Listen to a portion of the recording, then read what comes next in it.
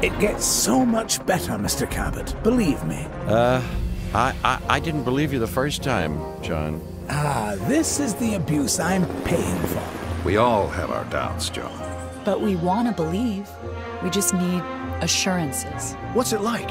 Seeing a dinosaur for the first time? Oh, it's like, uh, you know, it's like the early days of a new romance. It's fascinating and exhilarating, uh, until the fangs and the claws come out.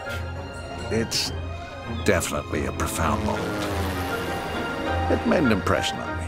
Let's put it that way. This is why Jurassic Park must succeed, Dr. Grant.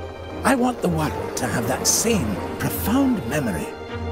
You know, I could do without uh, some of the memories of this place. That's precisely why I asked you all to take this journey again. Had you been part of the process earlier, perhaps our first time around would have been different. A mistake I'm correcting.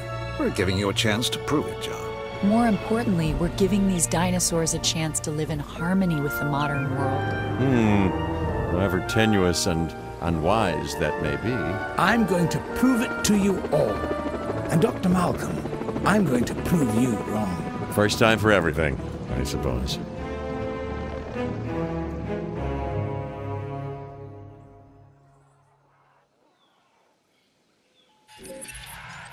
As you can imagine, everything is a wee bit of a muddle on Isla Nublar, so we'll have our work cut out for us.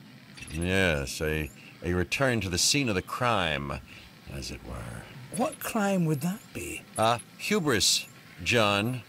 Something that'll hopefully be managed a little more thoroughly this time. I admit that I may have been too enthusiastic, and that it may may have led to blind spots. That's why I've brought young Cabot Finch along with us. So, um, what kind of science are you studying, Cabot? Business. Business? Oh, great.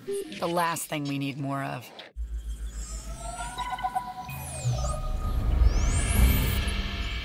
After reviewing everything with Mr. Hammond, we'll need to start by placing an arrival point.